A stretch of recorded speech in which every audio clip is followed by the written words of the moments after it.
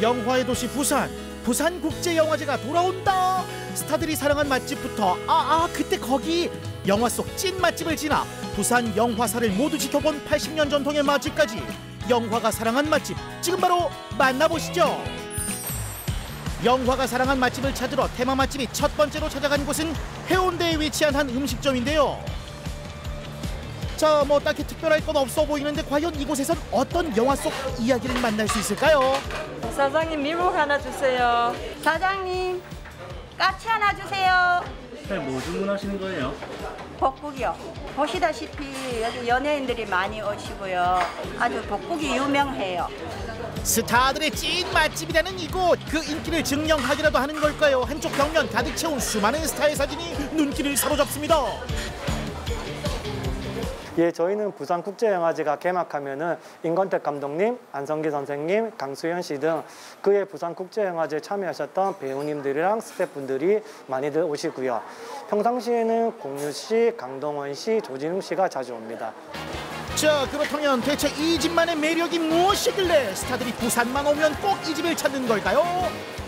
저희는 음복, 밀복, 까치복, 참복을 준비하고 있는데 밀복 같은 경우에는 쫄깃쫄깃한 걸 좋아하시는 공유 씨가 자주 드시고요.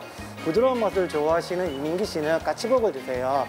밀복과 까치복의 맛을 섞어놓은 듯한 참복은 강동원 씨가 좋아하시는데 모두 다 자기 취향대로 드실 수 있어서 좋아하시는 것 같고요. 그리고 저희 집이 맛있습니다.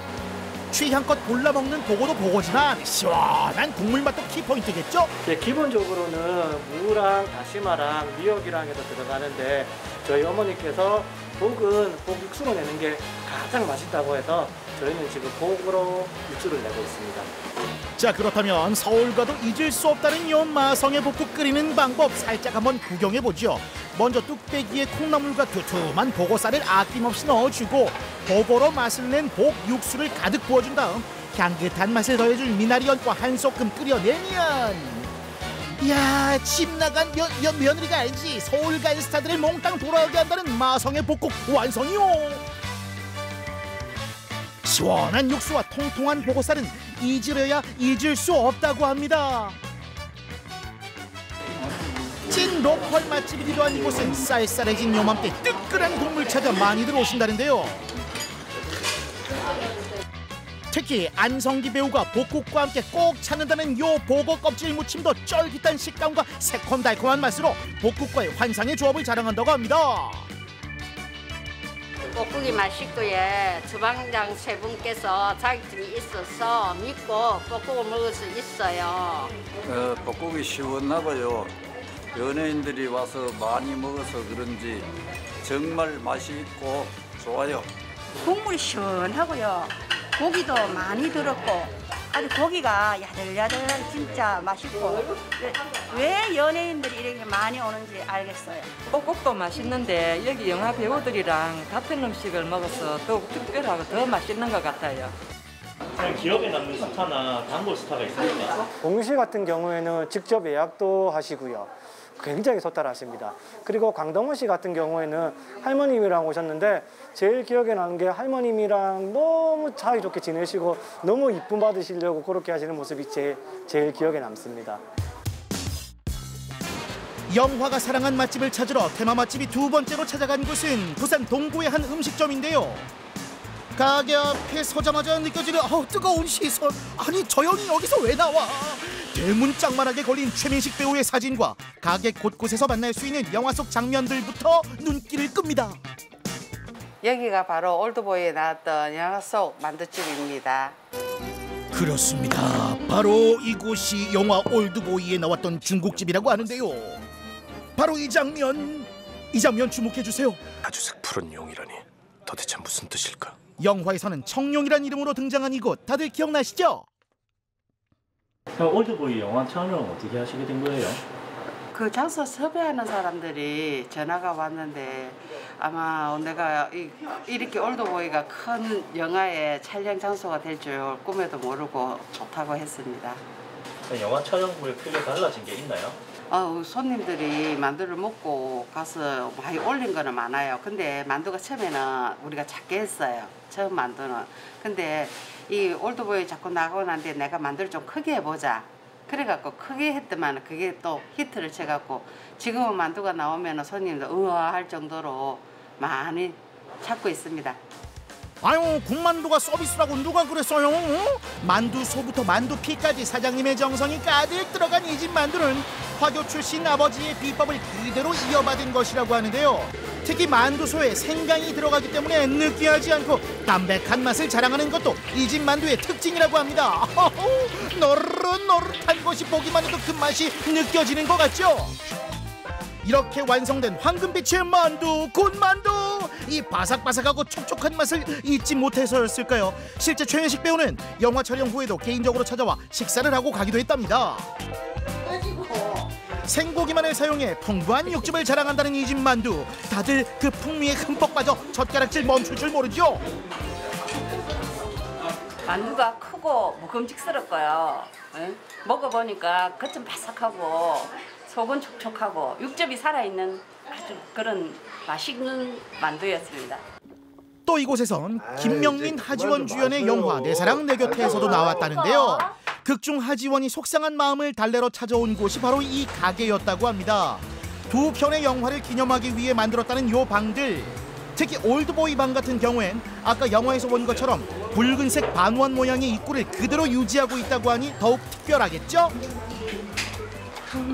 특색이 이제 이렇게 일단 크고 이렇게 큰데도 겉바 속촉, 에, 겉은 바삭하고 속은 촉촉한 만두 가장 우리가 바라는 그 경지에 이런 만두고 뭐, 뭐 올드보이 촬영했다 하니까 만두가 뭐 두 배로 또 더 맛있고 이 방에서 또 먹는다 하는 게 어, 색다른 느낌이고 또 기분도 참 좋고 막 그렇네요.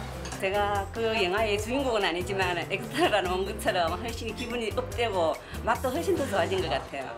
이 집 만두 같으면 정말 날마다 15년 아니라 150년도 먹을 수 있을 것 같아요.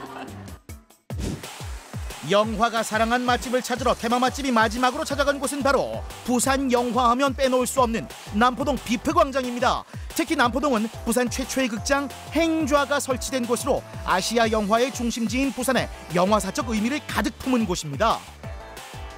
자, 비프 광장 옆으로 조금만 들어가면 있다는 80년 전통의 맛집. 긴 세월의 역사만큼 이 집은 1930년대 부산 극장이 생길 때부터 부산이 영화의 도시로 자리 잡은 지금 이 순간까지의 과정을 전부 지켜봤다는데요. 사실 부산 국제영화제 하면 좀 손님들이 좀 많이 오는 편인가요? 네, 많이 오죠. 사람도 많이 늘어나고요. 또 각, 왜냐면은 우리 요 가까이 피부 광장도 있고 그래서 사람들이 엄청 붐벼요. 특히 이곳은 함경도에서 온 사장님의 외할머니께서 차린 가게로 이북식 반찬을 만날 수 있는 것이 특징입니다. 가자미 식혜는 제가 오늘 처음 먹었는데 이게 이북 이북 음식이라고 들었습니다. 들었는데 제가 먹어보니까 좀 새콤하고 먹어도 크게 부담도 없고 앞으로도 계속 이리 찾을 것 같습니다.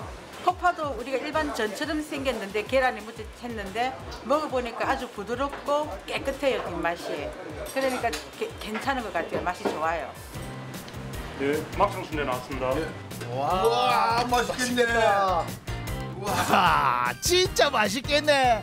비주얼부터 눈길을 확 잡아끄는 이 집 순대. 일반 시중에 파는 순대와는 달리 겉면이 막창으로 돼 있는 것을 볼 수 있는데요. 자칫하면 잡내가 나기 쉬운 재료인 막창. 그래서 이곳에선 막창의 세척 과정에만 꼬박 하루가 소요된다고 합니다. 잡내 쫙 뺀 막창 안에 순대소를 꽉꽉 채워 넣어 한숨 푹 쪄주면 다른 곳에선 맛볼 수 없는 탱글탱글한 식감이 일품인 막창 순대 완성! 이렇게 완성된 막창 순대 한 상 차림. 잠깐, 어, 뭐 이상한 거 눈치 못 채셨나요? 네, 바로 이곳 순대에는 당면이 들어가지 않습니다. 당면 대신 양배추와 찹쌀로 가득 찬 순대. 그 맛이 어떨지 궁금한데요. 맛이 어때요? 저 바깥에 막창 순대는 아주 고소하고 그다음 안에 순대 소도 고소하면서도 잘 어울리져 가지고 정말 맛있게 먹었습니다. 막창 순대 이 막창이 껍질도 너무 담백하고 이 막창 들어간 소도 너무 담백해가지고 너무 조화가 잘 되는 것 같습니다. 영화제 하면 남포동이고 또 남포동 맛집 하면 이 집 순대라고 알고 있습니다. 그래서 영화제만 하면 이 집이 많이 생각날 것 같아요. 이번에 영화제에도 꼭이 집에서 맛있게 먹고 와야 되겠다는 생각을 합니다. 앞으로 바람이 있다면 뭐 이런 큰 행사, 영화제 같은 큰 행사 때만 이래 뭐 찾아오시고 하는 분들도 계시겠지만은 뭐 영화제가 아니라도 굳이 항상 늘 찾아주셨으면 감사하겠습니다. 영화가 사랑한 맛집을 찾아 떠난 오늘의 테마 맛집 어떠셨나요? 여러분도 오는 10월 6일 개막하는 부산국제영화제를 맞아 부산 속 영화 맛집들을 찾아 떠나보는 건 어떨까요?